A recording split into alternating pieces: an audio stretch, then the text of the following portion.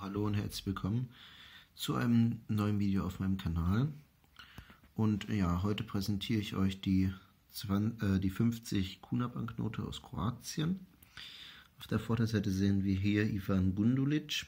Das war ein kroatischer Schriftsteller im Barock und eigentlich so ja, der bedeutendste, also ja, im Barock auf jeden Fall so mit der bedeutendste. Ja, dann zu den Sicherheitsmerkmalen. Wir haben einmal das Wasserzeichen natürlich.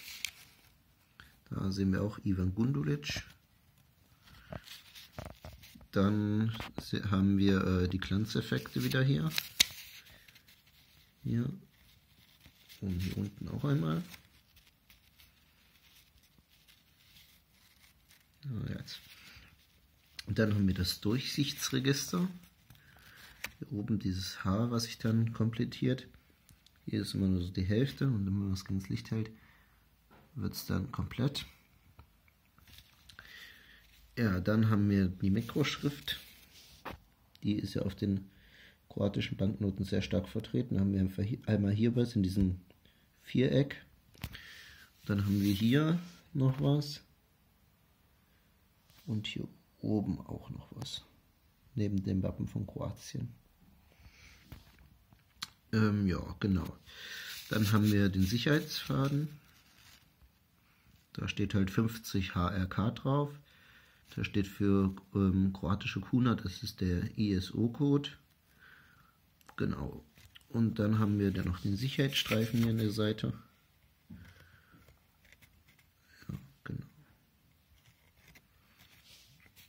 Ja, das war soweit zur Vorderseite. Dann würde ich sagen, zeige ich euch mal die Rückseite. So, ähm, ja, hier sieht man halt das Stadtbild von Dubrovnik.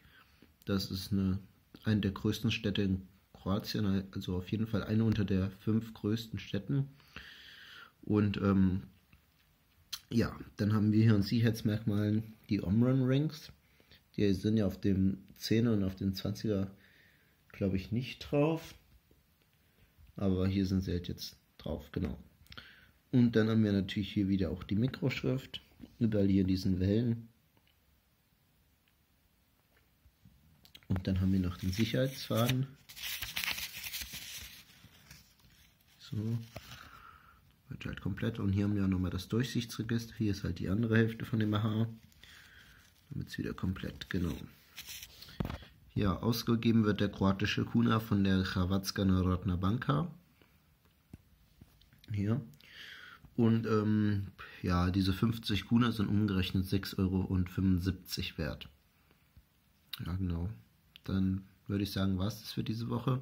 In den nächsten Wochen kommt erstmal kein äh, Video, denn ich nehme mir eine kleine Pause. Aber ich glaube, in drei oder vier Wochen kommt dann wieder das nächste Video mit dem 100 Kuna-Schein aus Kroatien. Bis dahin, tschüss und danke fürs Zusehen.